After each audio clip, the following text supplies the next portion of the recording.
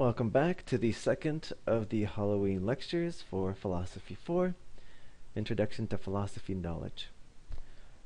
We've finished, for the time being, talking about verificationism.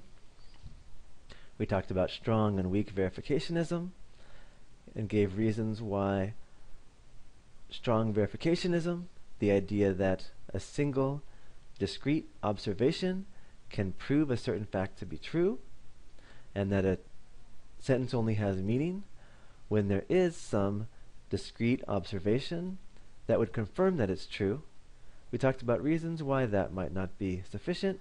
We talked about weak verificationism, which was the idea that maybe on Ayer's perspective, if we say, well, a sentence has meaning so long as I can go back and say, here's the observations in the world that would at least make my claim probable.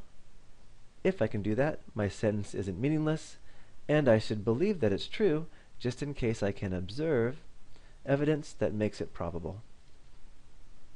The next theory we're going to talk about, and you'll be on the same outlines here, but you will be on the second half of the outline from last time, the verificationism one. The next thing we're going to talk about is falsificationism.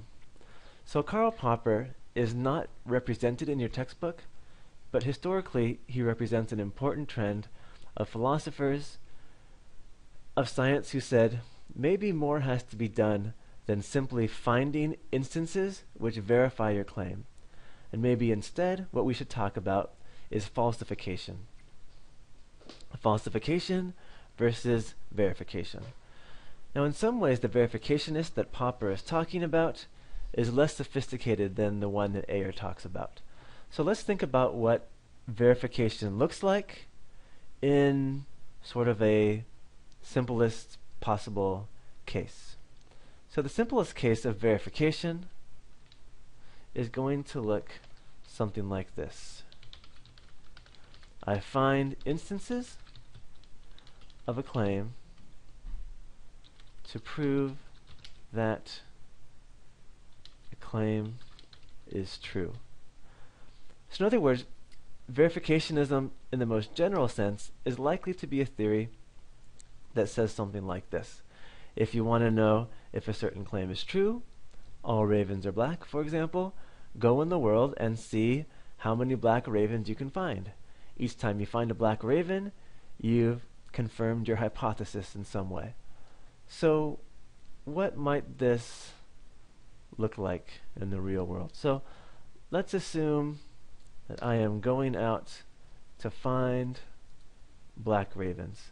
So I go out into the world and I start searching in the world for black ravens and here's one I found a raven and it's black here's another one I found a raven and it's black here's another one I found a raven and it's black let's say the world is full of ravens and each time I find a black raven my theory is verified.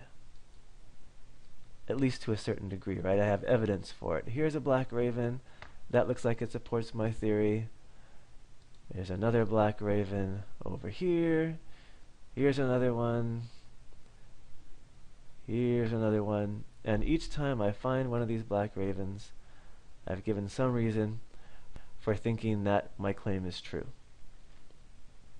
Simple version of verificationism. The claim being, all ravens are black. How much evidence do I have for the claim all ravens are black? Well, I have quite a few cases in which I found it was in fact true, even eight cases.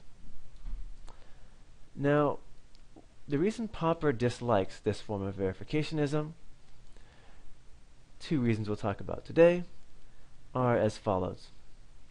One problem with this model of verificationism is that according to Popper, we can find some evidence to partially verify any general theory at all, and no amount of observation can fully verify any general theory. So let's go back to an example here. So let's stop talking about ravens for a second and let's talk instead about I don't know, a claim that all circles are green. So if you were to look at, this is my restricted universe here of circles. If I wanted to verify the claim that all circles are green, the easiest thing for me to do would be to say, look, I found an instance that verifies my claim. Here's a green circle, and that gives me some reason to think that all circles are green. I found one, and that verifies my claim. So that gets at Popper's first worry, which is that I can find some evidence to partially verify any general theory.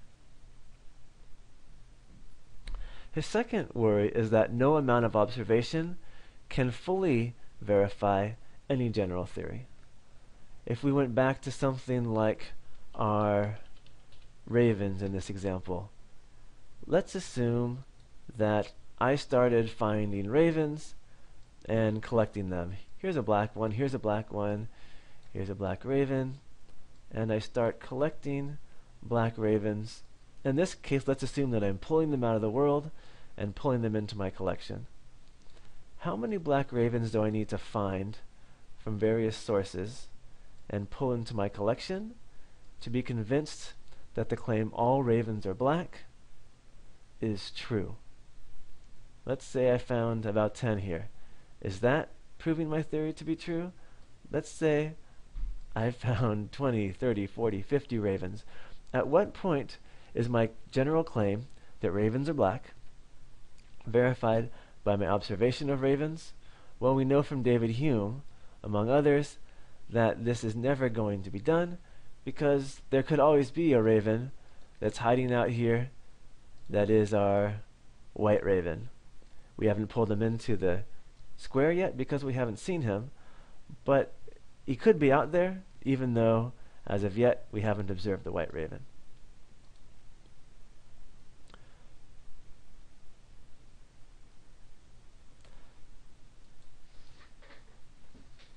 Point relative to question number one again is something like a more general theory. Let's say Freudian theory of the person, right? According to Freud, the young male develops and gets his identity by falling in love with his mother and wanting to kill his father. Eventually, he finds a woman who looks like his mom and acts like his mom, and he treats her like his mom, and he takes the role of his father. So let's say I wanted to figure out if Freudian theory was true or not true. Is it true that every man when he's a boy, falls in love with his mom, is afraid his father is going to kill him because he loves his mom, and instead ends up marrying someone less like his mom.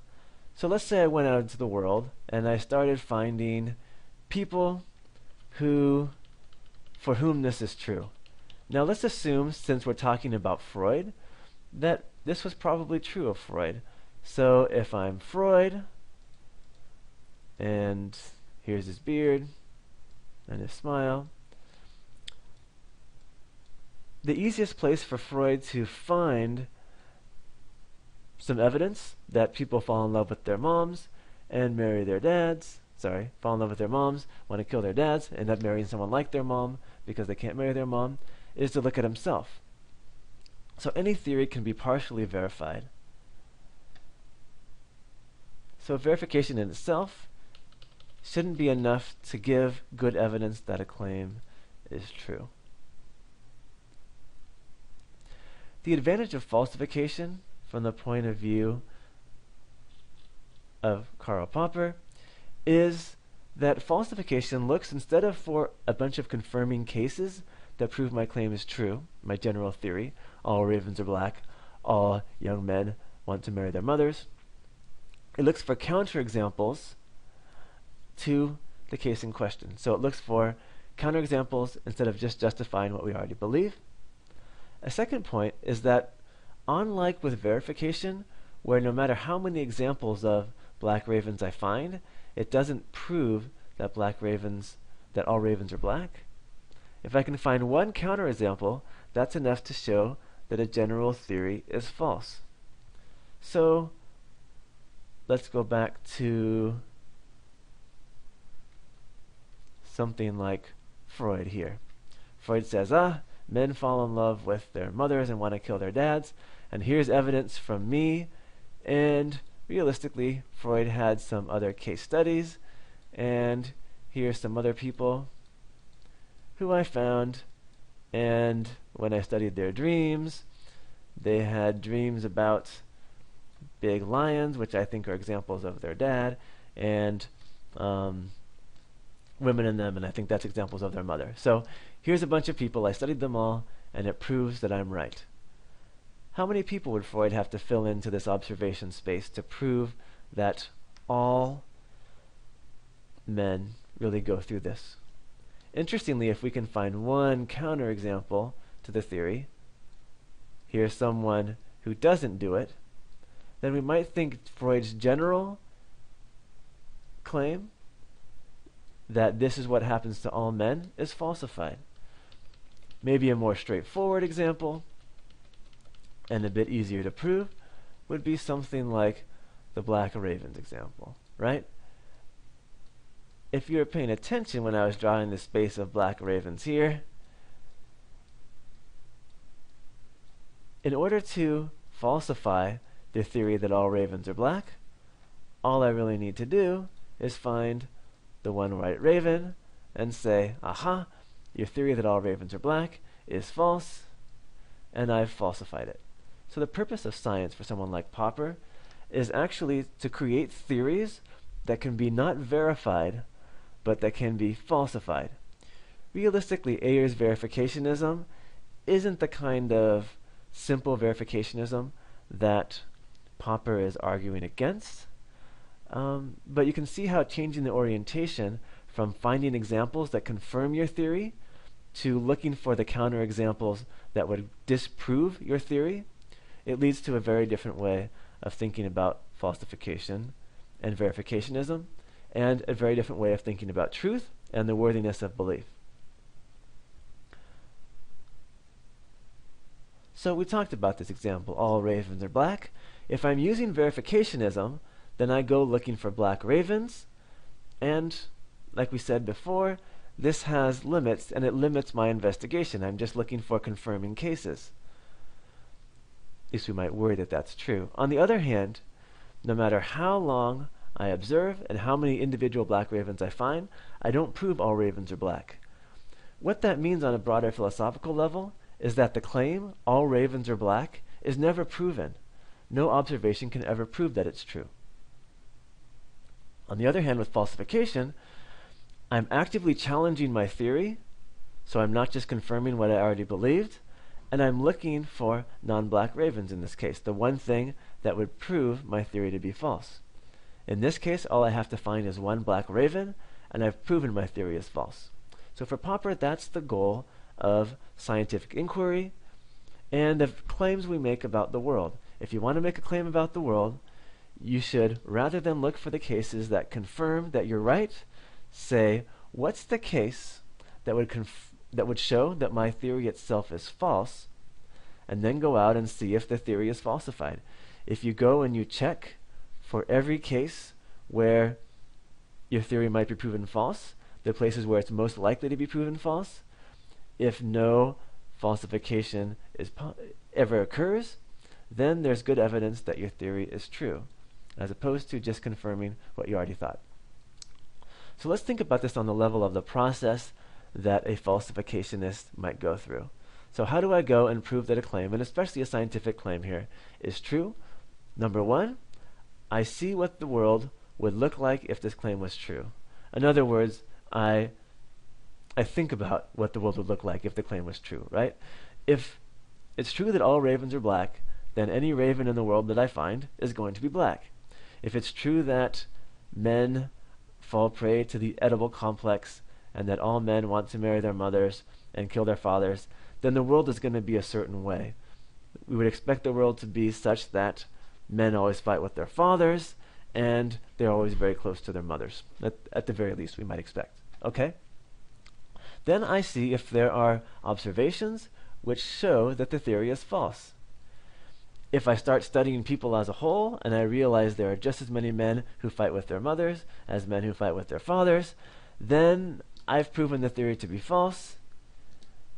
And that's true regardless, as a general theory, right? That's true regardless of whether or not there are certain cases that prove my claim to be true.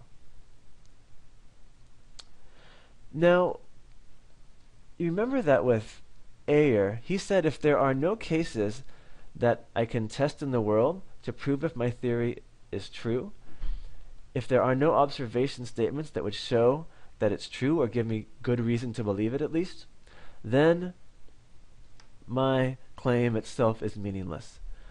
Popper is oftentimes taken as saying that, but Popper's claim is a bit more uh, minimal compared to that.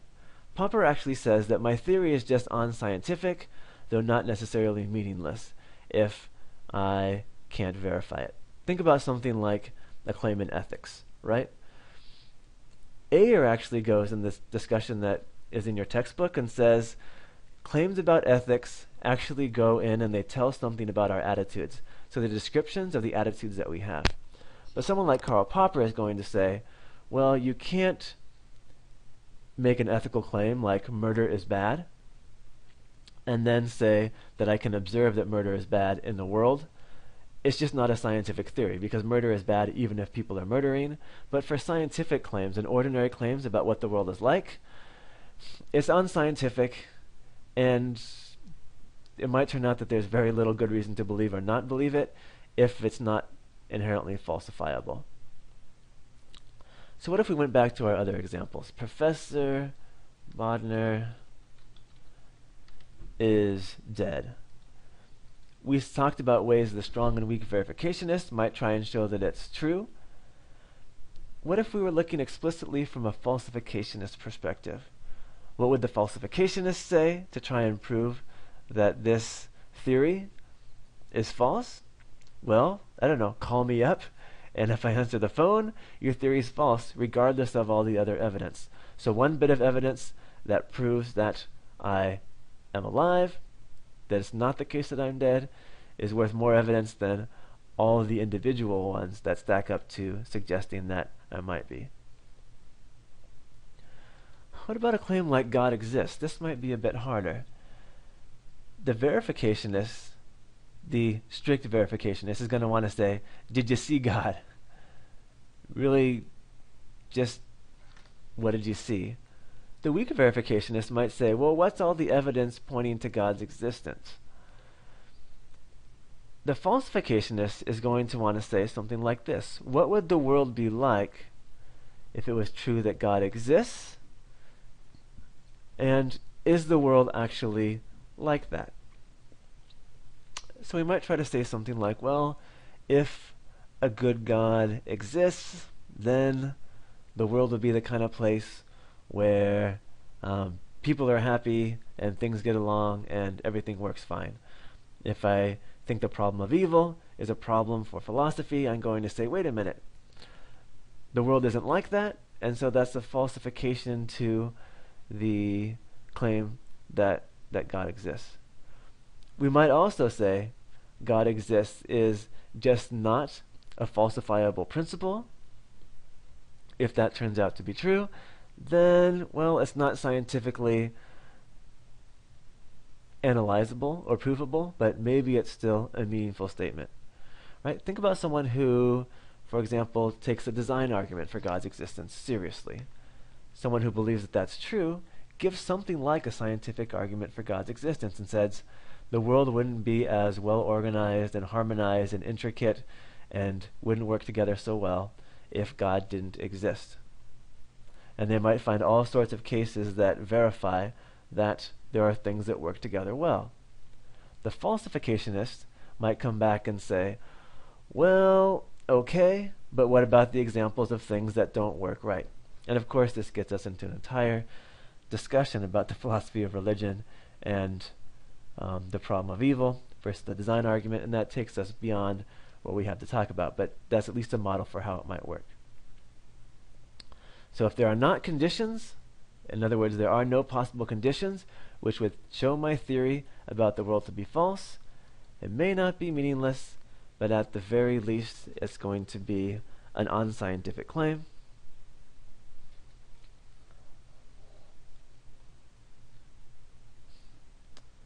Alright, I think those are the most important things that I have to go over with you. Does it take more work to work out these examples?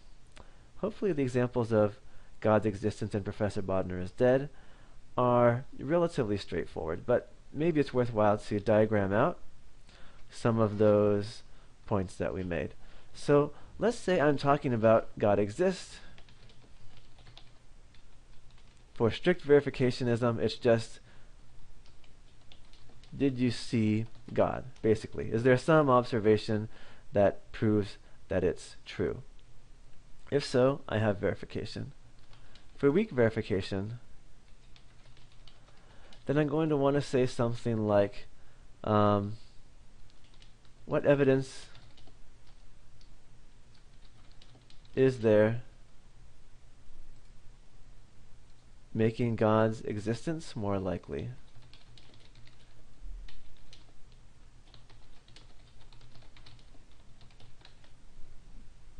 And I might point to something like order in the universe. On the other hand, if I'm trying to view this from a falsificationist perspective, in some ways this is going to be hard, right? Because it's not a general claim. But I might ask something like, what would the world look like if the claim God exists is true? And then are there counter examples? In other words, is there evidence that speaks against God's existence? And like we said, the most commonly given bit of evidence that's listed by people who take this argument seriously is things like problems with the universe, pain, suffering, disorder.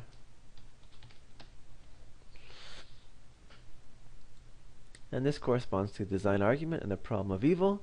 If those problems interest you, or the questions do, take Philosophy 1 because that's where we talk about those things. Alright, so I think this will conclude everything that I want to say about falsificationism.